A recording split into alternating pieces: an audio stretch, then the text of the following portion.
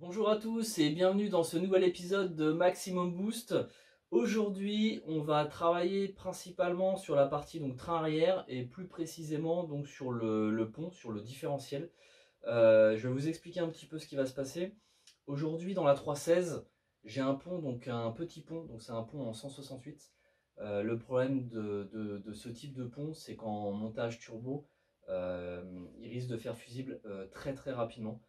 Du coup, j'ai opté pour une deuxième solution qui est en fait euh, le montage d'un pont de 324 TD.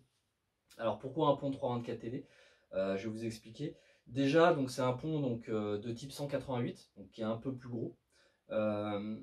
et le deuxième, le deuxième point, c'est qu'en fait, j'ai sur mon ancienne, enfin sur ma E46, sur la 330 CI Turbo, j'avais un autobloquant en fait de M3 3 litres qui avait été monté donc dans un carter de, de 46 je vais pouvoir récupérer en fait euh, cet autobloquant, donc le, M3 3 euh, litres, euh, enfin le, différentiel autobloquant de, M3 3 litres. Et normalement, de ce que j'ai pu voir lire sur internet, normalement les ponts 236 ou 230 sont les mêmes, donc le LSD en lui-même, l'autobloquant, devrait pouvoir s'installer directement donc, dans ce pont. pourquoi aussi j'ai pris un, pont 324 TD Parce que j'ai cherché en fait le, pont avec le rapport de pont le, plus long que je pouvais trouver. Euh, parce que sur, euh, sur E30, c'est souvent des rapports de pont très très courts. Euh, le problème, c'est que ça ça va pas motricer, ça, ça va patiner tout le temps, donc c'est pas, pas vraiment très intéressant. ce qui va se passer, c'est que là, en fait, sur le, pont 324 TD, il y a un 3, donc c'est un 325. Donc ça reste court, parce que je vois dans la, dans, dans la 330, j'ai un 281 de, de 330D. il n'y a rien de trop, hein, ça, passe plutôt, ça passe plutôt bien. Mais, euh, mais sur O30, j'ai pas trouvé plus court que, que 3,25. Euh, j'ai cherché sur l'OTK, sur Bimmercat, etc. Alors peut-être que peut-être que j'ai pas bien cherché, mais bon, déjà 3,25 ce sera, ce, sera, ce sera plutôt pas mal. Donc on va procéder au, démontage euh, du pont.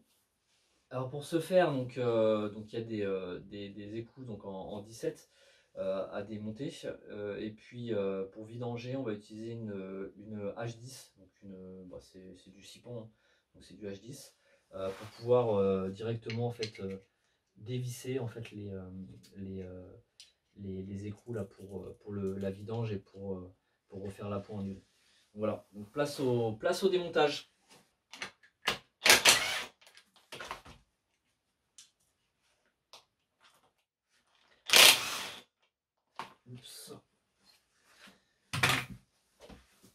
Ce que je voulais pas faire, je l'ai fait. Je pensais qu'il était vide, mais il n'était pas vide. Donc il était encore rempli.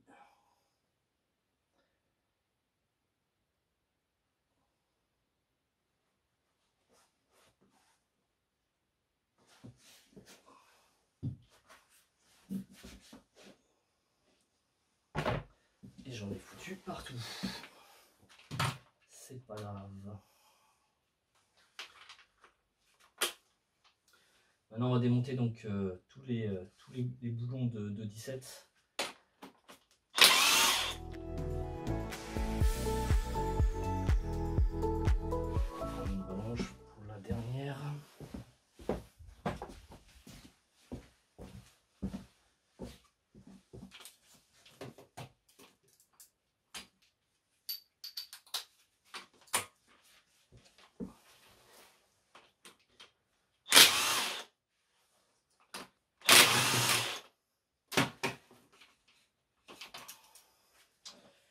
Et voilà.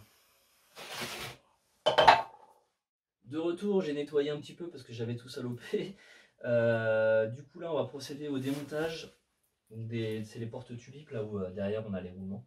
Donc, euh, je vais démonter ça. C'est du 13. C'est ça, c'est du 13. Donc, c'est parti. Démontage.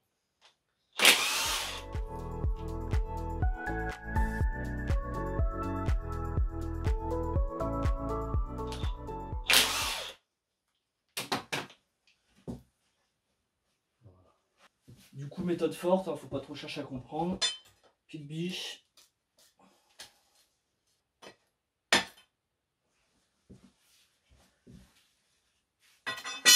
Idem de l'autre côté.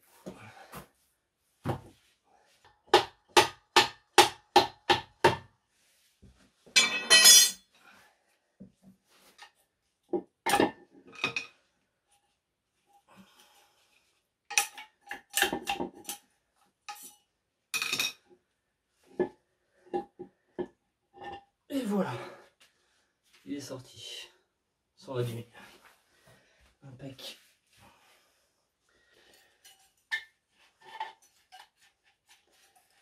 Voilà, le VD40, ça aide.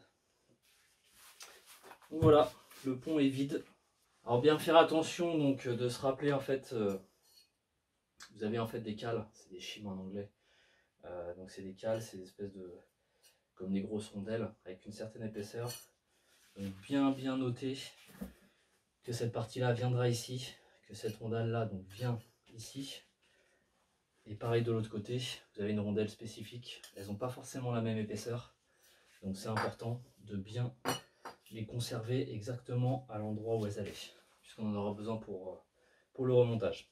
Faut pas vous emmêler, remettez-les directement dessus, comme ça il n'y a pas de, y a pas de, problème possible. Donc là maintenant on va s'occuper donc de la partie euh, démontage de la couronne. Donc là c'est pas très compliqué. Vous avez en fait euh, des boulons, en fait c'est du 19. Donc on va les démonter à la péteuse.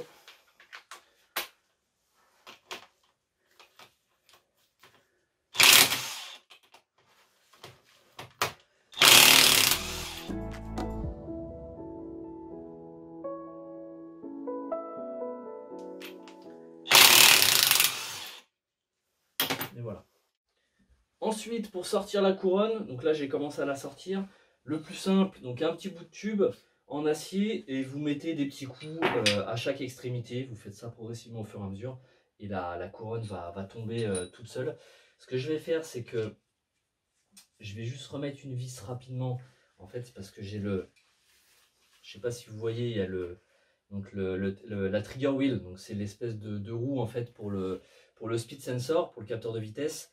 Donc ça, pour pouvoir sortir la couronne, il faut évidemment que j'enlève déjà la roue. Donc pour ce faire, je vais prendre un tournevis, donc assez large. Faire attention à ne pas toucher les dents pour ne pas mettre un coup dans les dents. Donc un coup bien sec et ça doit sortir. Et voilà. Tac. Je vais renlever la vis. Je vais protéger autour pour que la couronne ne s'abîme pas en tombant. Et voilà. Donc là, on sort le différentiel. Voilà. Et la couronne qui est dans un état nickel. Si on verra bien la caméra, mais euh, elle est vraiment impeccable.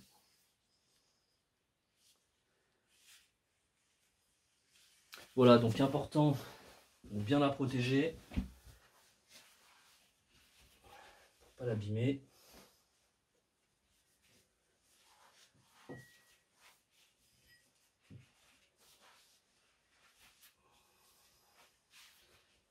Et voilà, et on met de côté.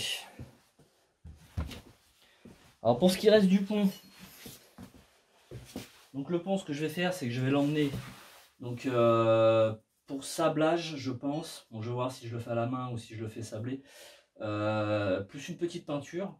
Et ensuite, on réinstallera donc le, différentiel euh, à glissement limité, donc l'autobloc de M3 du pont 246. Comme je vous l'ai expliqué en début de vidéo, je vais récupérer donc l'autobloquant qui se trouve dans ce pont 246. Donc ça, c'était le, pont d'origine de ma 330 CI qui avait été modifiée pour accueillir un autobloquant de M3 3 litres, donc 236. Donc c'est un carter qui avait été réusiné, on avait pu euh, remonter l'autobloquant directement dedans. Euh, et au passage, on avait euh, retardé l'autobloquant à 40%. Donc en grip, c'était vraiment génial, etc. Le souci, c'est qu'après, quand je suis passé en fait en, turbo, juste avant le passage, j'avais voulu tester un différentiel en 338 du coup, j'avais récupéré un, pont de 330i euh, auto. Donc c'était un pont en 338. Euh, j'ai testé et quand je suis passé en turbo, euh, du coup, il a commencé à montrer des signes de faiblesse. Et j'ai préféré pas remettre ce pont là, j'avais peur de vraiment de le casser. Et bon, ça commence à se faire rare un petit peu les, LSD, tout ça, enfin les autoblocs de M3, etc. C'est voilà, c'est pas, ça court pas les rues, on va dire. Donc d'occasion, ça coûte cher.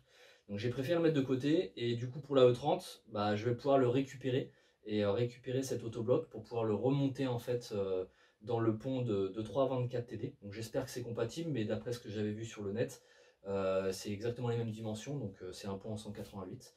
voilà, le pont de, 246 est du 188K, donc compact, mais, mais, mais voilà, c'était pas le pont de, enfin c'était pas les internes d'origine. Et pour ceux qui voudraient savoir comment reconnaître un pont à glissement limité, en l'occurrence là, donc cet autobloc, euh, c'est pas compliqué quand vous tournez en fait euh, la tulipe d'entrée au niveau euh, donc, de l'arbre de transmission.